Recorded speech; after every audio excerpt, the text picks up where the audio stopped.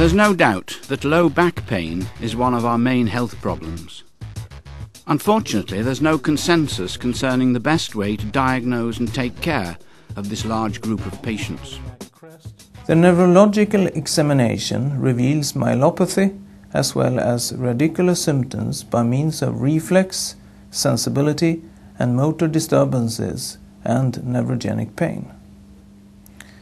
Most structures in the lumbar spine has been accused as the source of low back pain. Acute pain must be separated from chronic pain. Coping strategies and psychosocial factors have been emphasized as the most important factors for long-term prognosis in work inhibiting pain.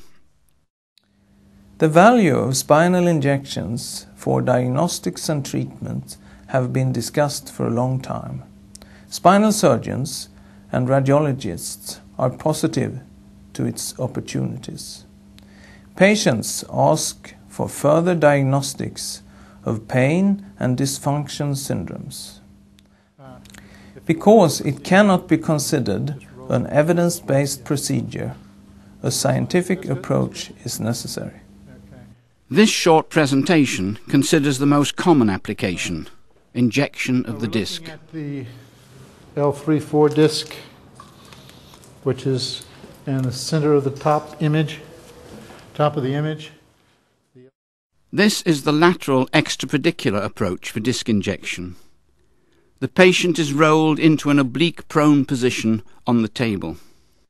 When placing needles in joint cavities, you can work fast and with accuracy using the two-image intensifier biplanar 400E system. L3 end plates. Superior process is right in the middle. Needle is curved. The technique for disc puncture is straightforward and relies on visualization of the surrounding anatomy. The patient is rotated until the superior articular process of the vertebra below the disc to be punctured projects midway between the anterior and posterior margins of the superior end plate.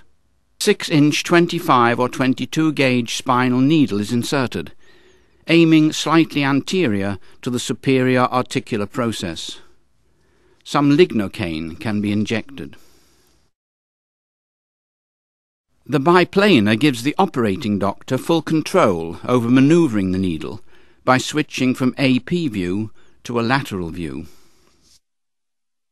The tip should be guided to rest initially on the articular processes opposite the midpoint of the silhouette of the joint cavity.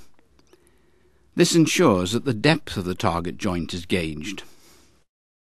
The needle is then further inserted, aiming toward the center of the target disc and its outer annulus fibrosus.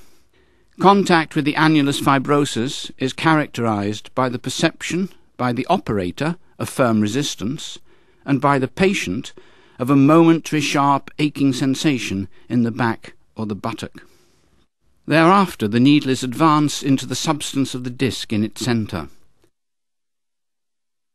When the tip of the needle has been properly placed in the centre of the nucleus You're pulposus, okay, contrast right medium is injected.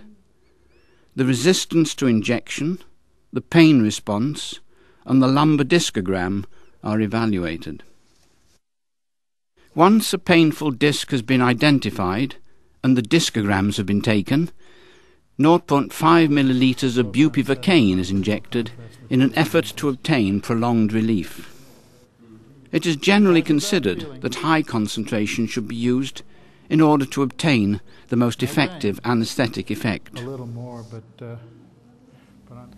Pharmacological progress implies a potential possibility to inject active drugs. Kyphoplasty and vertebroplasty has been developed under recent years. For intra-articular injections, the symmetrical G-stand makes it easy to work.